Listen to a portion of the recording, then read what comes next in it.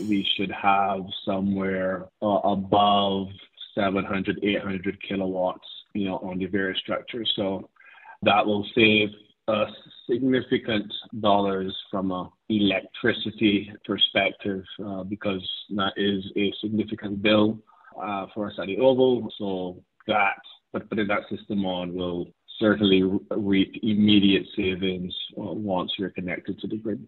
What we've done is we've, we've taken a holistic approach. Anything that is corroded, purlined, bolts, etc. You know, so we had a we had a structural evaluation of the roofs and identified you know, various areas. You would imagine the roof is over 15 years old.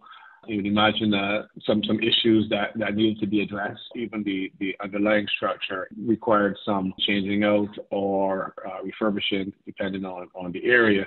So yes, certainly meaningful investment. Whether you remember or not, though the light there weren't any lights for the finals that um, that were played in 2007, and and, uh, and you know, so therefore there were no light towers.